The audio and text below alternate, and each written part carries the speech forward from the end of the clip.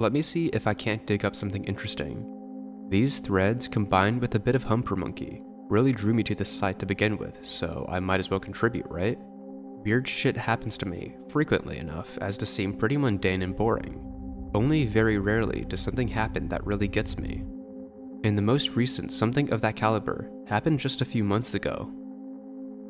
A little bit of background for you. My wife Ash and I have been married for four or five years and live in a little two story townhouse. Pretty normal place. Living room downstairs with a kitchen and two bedrooms upstairs. We have recently got rid of a troublesome roommate, so having the place all to ourselves has been really nice. She works at a bakery while I'm prepping for school, and things are going pretty damn fine for us. The day it happened was completely routine. She gets up and goes to work. I putter about, doing bored guy stuff. She comes home. I make dinner, see to it I make her laugh, my sworn duty as a husband, and talk about the regular bullshit married people talk about. We go to bed, and as I'm dozing off, she plays her Game Boy until she zonks. I pop awake at like 3 in the morning for some reason. It was one of those nice, fresh, bam, you're awake now, motherfucker, awakenings with zero sleep fallout. I love those. I had to take a leak and figured that's what woke me. Go to the upstairs bathroom and do my thing, and figure since I'm awake, I might as well brew some coffee or get some breakfast ready for Ash. So I head downstairs and immediately notice a few things that are off. The living room is lit and the TV is on to some ridiculous infomercial. Might have been the Is colon Cleansing Hype one. I think it was because I distinctly remember the guy talking being so strange looking, fake tan, and I swear he was wearing makeup. I digress, but that guy really is weird looking. Anyways, TV is on, and I notice Ash sitting on the sofa across from it. I stop at the bottom of the stairs and look at her. She's sitting upright, hands on her lap, just watching the commercial. Hey, I didn't know you were up. Good morning, I says. She's still watching the commercial, has her ever present smile on, and says back, Yes. I start to head to the kitchen when she turns her eyes to me without moving her head and asks, Would you please hand me the remote? I stop, turn, and look at the coffee table that's between her and the couch. And the remote is sitting right there. Dude, it's right there, I say, pointing.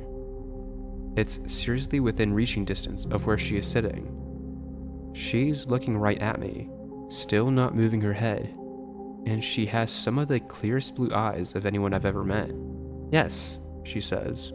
I didn't think any more of it really. Yeah, she could have obviously reached out and took the remote off the table, but maybe she was meditating, or practicing ninja stillness skills, or whatever. We are irregular people on occasion.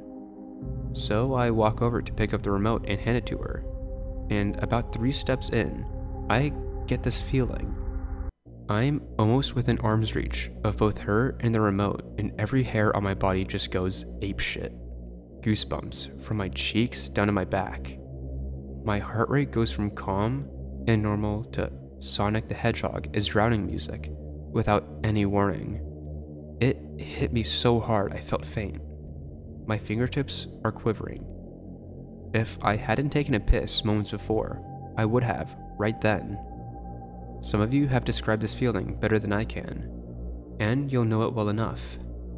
My body is saying no. It's like a biological prey reaction. It's how I imagine deer feel right before they bolt. I'm not exactly paralyzed, but near enough to it. She still hasn't moved, just watching me with those calm, clear, and safe eyes. The guy on TV is still talking about how science proves flushing your ass with water makes you a happier person, gets rid of the toxins. I'm getting tunnel vision, and little sparkles at the edge of my vision, the kind you get when you stand at attention with your knees locked like a recruit. I'm going to pass out. I am completely familiar with this progression of sensations the twinkling, the sparkly chills, and then bonk. I managed to break eye contact with her, and stare at the remote and back away slowly. It's weird how I keep bringing up the anal hygienist on the commercial, but his really androgynous voice was, I think, actually giving me something to focus on, other than what was happening, as absurd as it may sound. I managed to back up to the stairs and put a foot on the first step. The oh shit feeling is still there, but the twinklings are gone, so I don't feel like I'm going to pass out anymore. But I feel. Ah, like if I take my eyes off the remote, I am fucked. The second I look away, when she isn't in my peripheral vision anymore, it's done. I can't blink. I don't dare to shut my eyes. And even though I'm breathing steadily enough, my heart is just going fucking nuts. I can hear it, and I'm fucking positive so can she. Felt like I was on that first step for hours. Couldn't have been too long in hindsight, but right then, it was forever. Finally, though, I took a dose of fuck it, and as calmly as I could, turned and went up the stairs. I turned my eyes away and focused up at the top of the steps.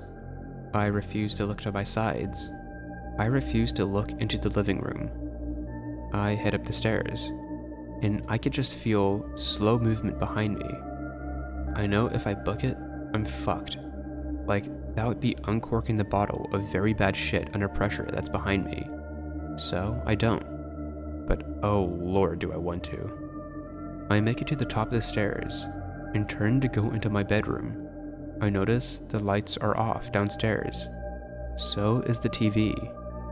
I can feel her at the foot of the stairs, looking up at me, but oh man, I do not have the balls to look back.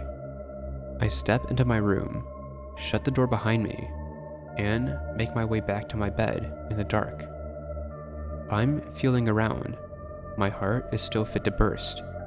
I feel a sleeping cat, Sam, my erstwhile buddy, and the only cat I haven't ever wanted to strangle, despite him being a complete asshole at times.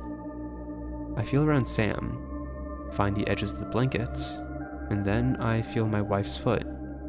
She's warm and sleeping like a pile of rocks. She isn't making any noise, but I can feel her rhythmic breathing.